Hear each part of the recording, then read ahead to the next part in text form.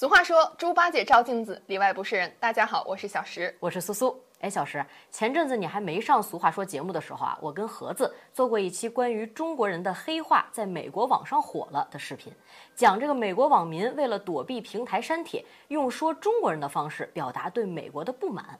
哎，那期节目我看过，可太逗了，美国的双标和对中国各种指责的荒诞被晒得底儿掉。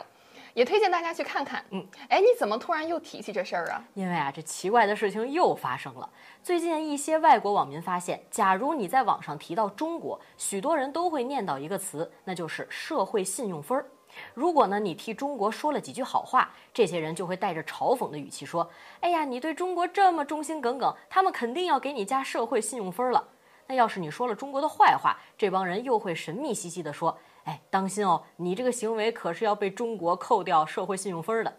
那说这个词儿的人实在太多了哈，以至于还发展出了各种的表情包。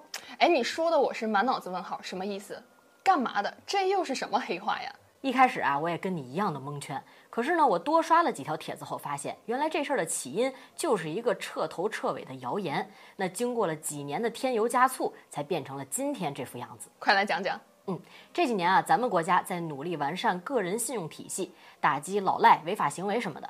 但是呢，在许多外媒的报道里，这个本来很正常的事情，被他们给歪曲成了中国在根据社会行为给公民打分儿，谁不听中国政府的话，谁就要被打低分儿。这个信用评级啊，是和个人行为有关，但标准也不是听不听中国政府的话呀。嗯，外媒编关于中国的谎言，真的是一天一个花样。是啊。更离谱的是啊，一家台湾媒体把这个个人征信和互联网公司搞的用户信用分给混淆了，于是呢，所谓的中国搞社会信用分用来监控民众的说法就正式出道了。经过了一大群对中国偏见很深的人口口相传、层层脑补，这社会信用分被他们描述的是无孔不入。从随地吐痰、垃圾没分类，到这个聊天时批评中国政府，他们声称啊，所有这些做法都会被无处不在的摄像头记录下来，然后扣掉你的社会信用分。相反，假如你在网上疯狂的夸中国，那就会被加很多分。难怪了，要按这么说，前面那位网友反驳别人造谣中国，肯定是加分行为啊。可是这个谣言假的那么明显，难道就没有人出来辟谣吗？哎，其实，在二零二零年的时候啊，就有很多人辟谣过这个事儿。一些在中国待过的人，又是讲道理，又是列数据，可是这帮人愣是不信啊。后来呢，有些网友干脆就摆烂了，甚至还编出了更夸张的谣言来逗那些造谣传谣的人。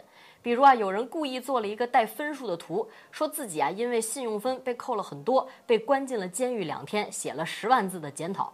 还有人说啊，自己积极改造非常成功，不仅拿到了七百多的信用分，还获得了系统授予的权贵三阶荣誉称号。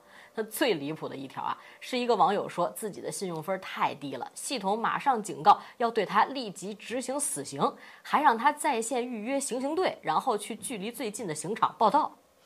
笑死我了！预约枪毙，自己找刑场，脑洞开的这么大，这得智商低成什么样的人才会信啊？哎，你可不要低估智商的下限啊！有些人就是拿着这些截图到处去说，看吧，我就说中国真的有社会信用分吧。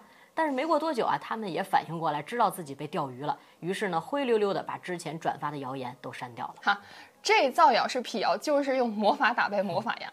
那我就不懂了，为什么现在还有那么多人在拿社会信用分说事儿呢？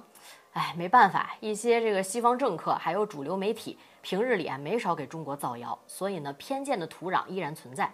这片地里长的韭菜，自然也是一茬接着一茬的冒。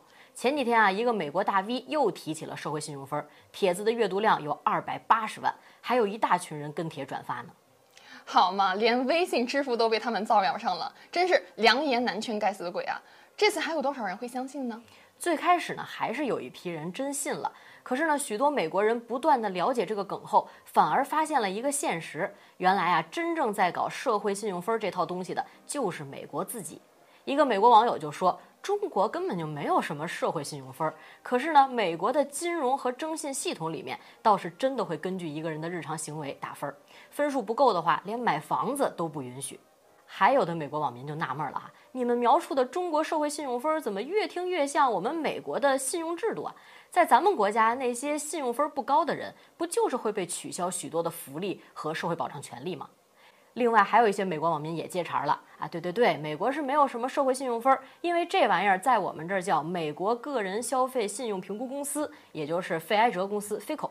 他们呢会根据大数据监控美国人的一切生活痕迹，限制了你办信用卡、租房和买车。还有一个网友啊给的资料就比较惊悚了，他列了几张美国银行后台系统截图，上面显示银行的工作人员会对用户的政治立场进行标注，你给什么团体或者政客捐款，支持过性少数群体的社会活动，都会被写在备注栏里。那银行就会根据这些调整你的信用情况。好家伙，我可算知道为什么那么多美国人真心相信中国在搞社会信用分了，这又是以己夺人呢。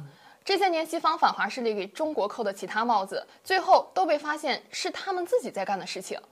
他们说新疆棉花全靠强迫劳动生产，是因为他们历史上强迫过黑人奴隶摘棉花。